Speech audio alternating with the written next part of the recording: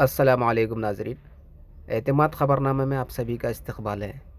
आइए ख़बरों का सिलसिला शुरू करते हैं आयत मुबारक के साथ। आयत शरीफ, विरास में तुम्हारे परवरदिगार की तरफ़ से बड़ी आजमाइश थी। सुर बकरा आयत नंबर उनचास।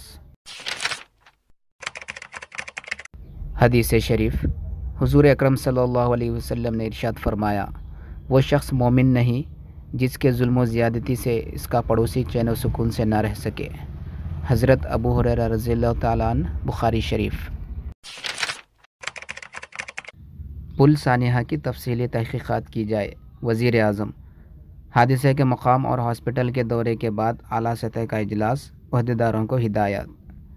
वज़ी अजम नरेंद्र मोदी ने गुजरात मोरबी पुल सानहा के मकाम का दौरा किया और बाज़ ज़ख्मियों से मुलाकात की।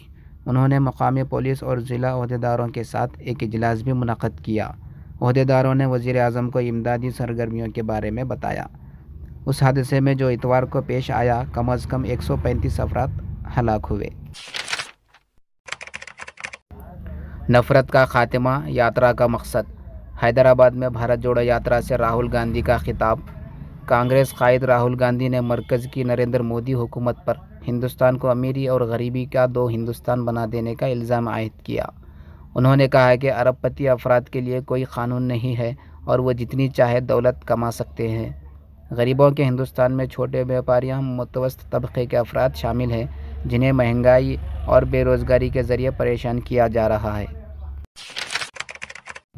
राहुल गांधी की भारत जोड़ो यात्रा आज संगारेड्डी में दाखिल होगी। कांग्रेस कायद राहुल गांधी की भारत जोड़ो यात्रा चार शुबे को संगारेड्डी में दाखिल होगी। बीएचईएल टाउनशिप के करीब से यह यात्रा संगारेड्डी में दाखिल होगी।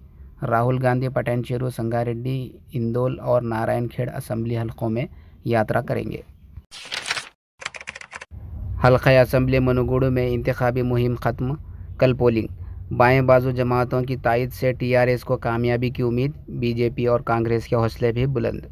मनगुड़ असम्बली हलक़े के इंतबी मुहिम आज शाम छः बजे ख़त्म हो गई। अगरचे के गुज्त माह इस हलक़े में ज़मनी इंतखब का आलामिया जारी हुआ, लेकिन गुज्त दो महीनों से इस हलक़े में सियासी सरगर्मियाँ शुरू हो गई थी। तीन नवंबर को सुबह सात बजे से मनगुड़ असम्बली हलक़े में राय दही होने वाली है। ये इंतखब बरसर इकतदार जमात टी आर एस के अलावा अपोजिशन बीजेपी और कांग्रेस के लिए काफ़ी अहमियत का हामिल समझा जा रहा है। शादी में ताखिर पर तालिबा की ख़ुदकुशी, हैदराबाद, एक नवंबर। शादी में ताखिर पर एक लड़की ने ख़ुदकुशी कर ली।